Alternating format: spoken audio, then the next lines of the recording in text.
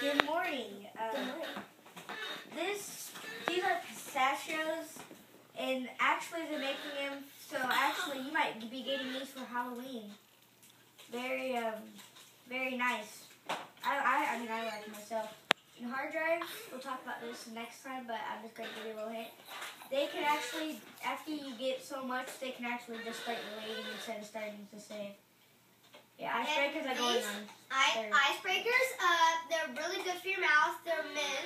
make your uh, breath smell good. Uh, And uh, you can you can eat them and do whatever you want with them. Yeah. And um yeah, in our website right here it is uh if you come on there you can see a whole bunch of different stuff. So our website, you know, you can see a whole bunch on there, you know. Here, go to the radar. That's probably something that they would like to see. Photos, split shots, latest news. Yeah, that's all. We're going into uh, commercial time. We'll see you back on the show. Bye. Bye. Bye.